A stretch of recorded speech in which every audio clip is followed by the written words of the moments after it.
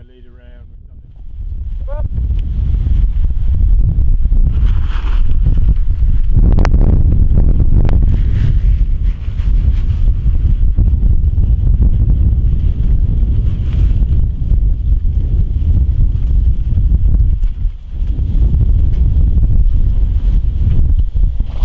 So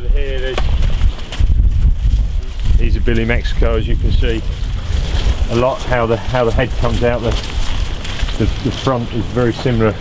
The stencil is very similar actually. Basically these will all be be come in and be broken and, and sold on or produced. I mean basically we would we, we the whole lot would be pr produced basically to get the best out of them not just to sell them they'll all be um, you know, if somebody wants to buy them, they're, all- they're all for sale. But actually, we don't produce them to to say do polish everything. So really nice somebody come and buy a polished four-year-old. If one is a bit immature, we give it longer. You know, so yes, obviously there is always a financial. Um, you know, way to it, but it always never ceases to amaze when you see these. These are three. You know, Donald put the mares in foals the mares in um, four years ago. The expense of the stallion, scanning the mares, so keeping the mare a year, keeping these three years, and uh, so you know, and they're all out of nice mares. Basically, we all, it, you know, it's it's about having a good quality mare, which has got a value as well.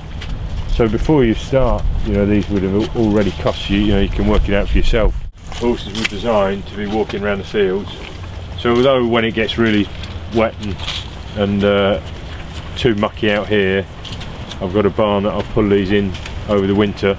But ideally, if we weren't on clay, I should I'd like to leave them out all winter to be honest with you, because I think during their natural growth, that's what they should be doing. They should be wandering around eating grass, chasing, chasing each other around, doing you know not stood in a box or in a barn.